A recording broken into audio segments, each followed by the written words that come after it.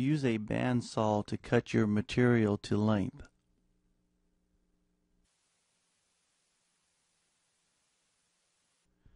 Material used two 1 inch by 4 inch by 6 inch and 1 quarter inch by 3 inch by 8 inches.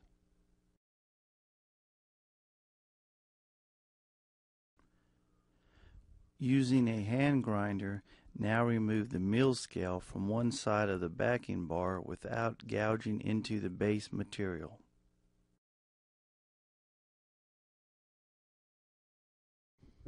Example of mill scale removed.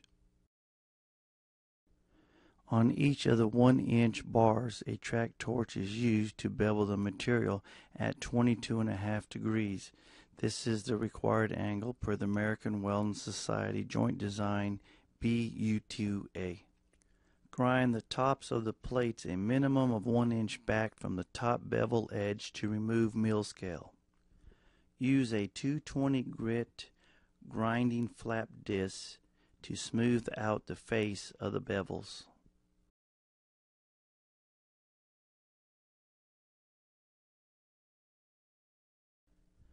Now use a metal flat file to remove any sharp edges from the top and bottom bevel.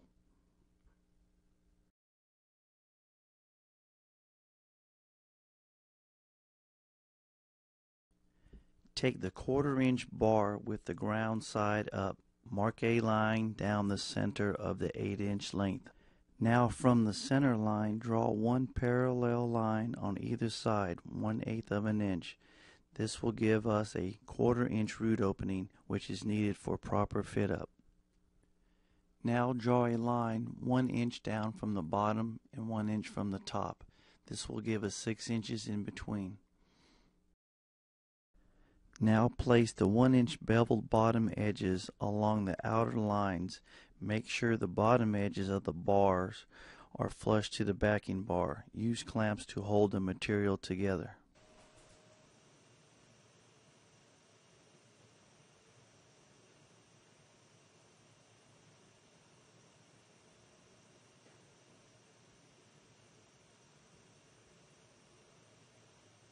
Inspect the fit up to make sure the bottom edges are flush to the backing bar and the correct quarter inch root opening is achieved.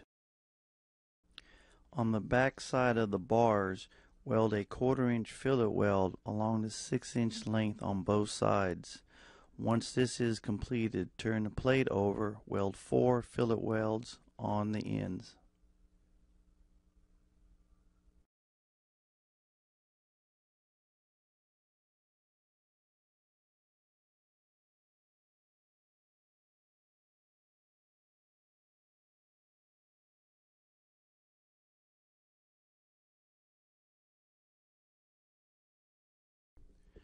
Once this is completed, use a chipping hammer to remove the slag and a wire brush.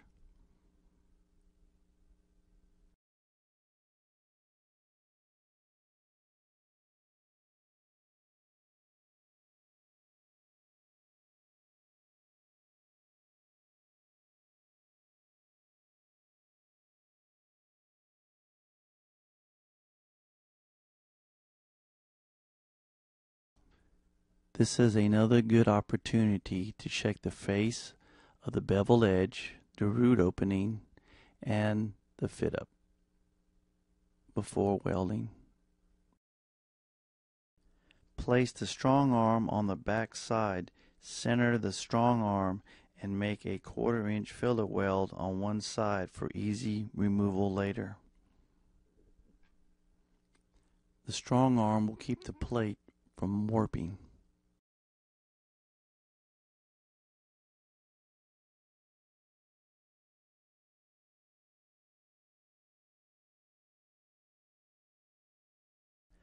When the welding inspector has verified that the test plate is ready for welding, he will now allow the test plate to be positioned in the position that you are qualifying in.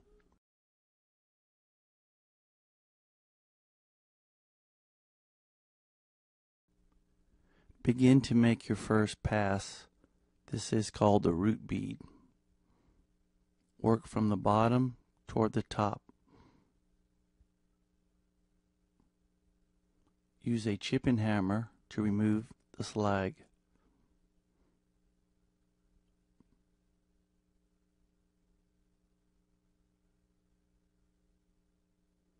Use a wire brush for cleaning.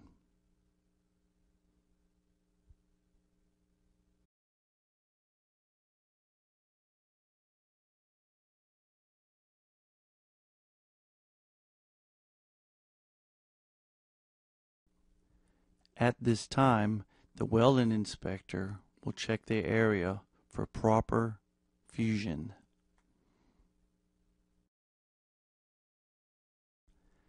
After the welding inspector has accepted the first pass, the welder will now proceed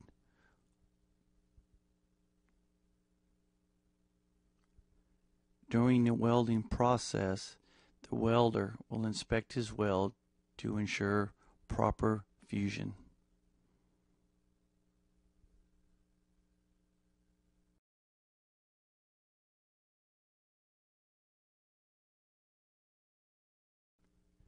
The test plate is now completed and ready for another visual inspection.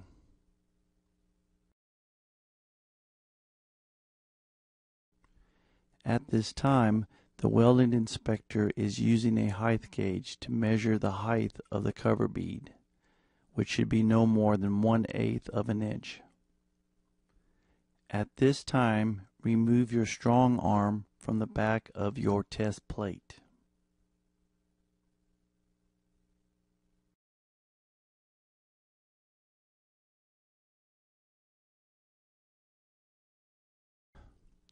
Now use a grinder to remove the welds located on either side of the plate. This is where your strong arm was welded.